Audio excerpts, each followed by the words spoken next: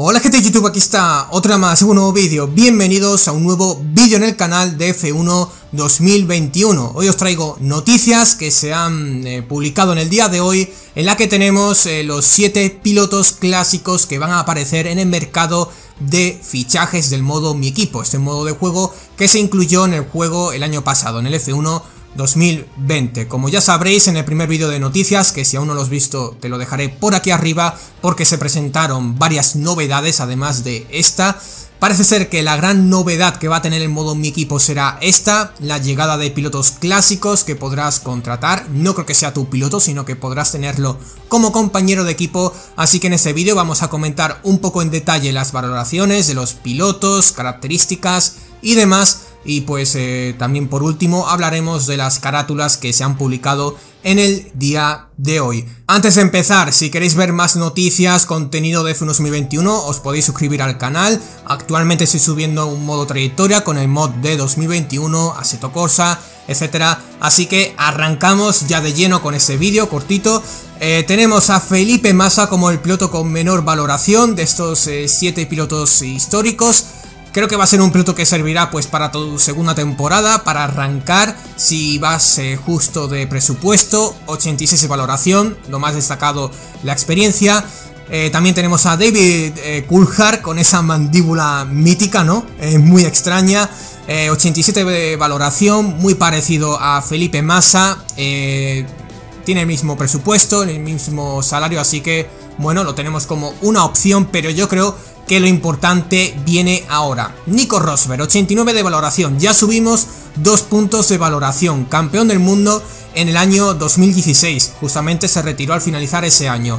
86 de experiencia, 89 eh, de ritmo de, carrera, 99 de seguridad y 88 de velocidad. 6 millones eh, cuesta el piloto eh, alemán pero ahora ya eh, subimos al escalón del 90 de valoración. Aquí ya entramos en lo realmente serio. Jenson Button, un piloto que creo que va a ser muy factible para el modo mi equipo, porque tiene muchísima experiencia, 98, 94 de ritmo de carrera, 95 de seguridad y 85 de velocidad pura. Eso es lo que más flojea de Jenson Button, pero aún así creo que va a ser un piloto muy completo y que a mí personalmente me gusta y mucho. Siempre ha sido uno de mis pilotos favoritos de la década de los 2000-2010.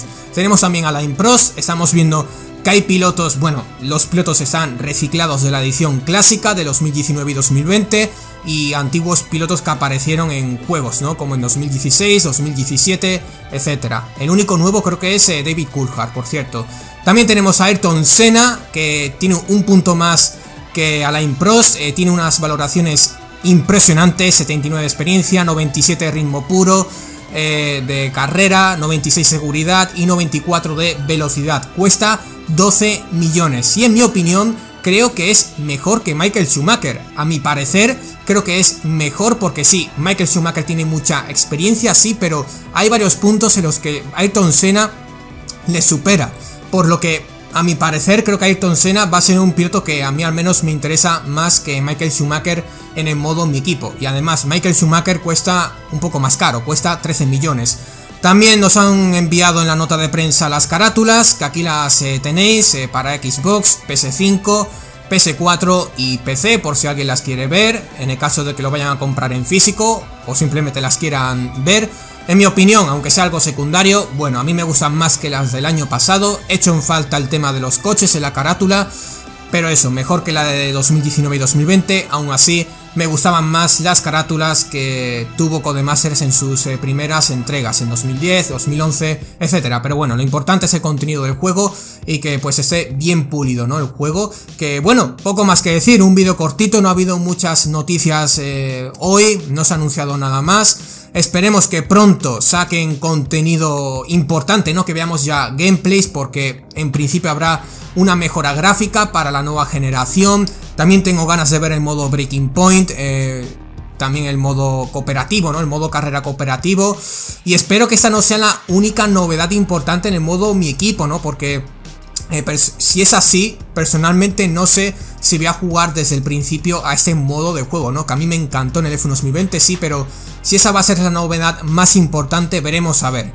Así que poco más que decir, gente. Eh, si queréis ver más contenido, noticias de F1 2021 que vais a tener, como he comentado antes, próximamente en el canal, os podéis suscribir que es eh, totalmente gratuito, si queréis apoyar el canal os podéis hacer miembro, así que poco más, deja tu comentario, deja tu me gusta y suscríbete si quieres ver noticias, contenido, gameplays, F1 2020, Assetto Corsa en el canal, así que poco más, muchas gracias y nos vemos en la próxima, hasta luego gente.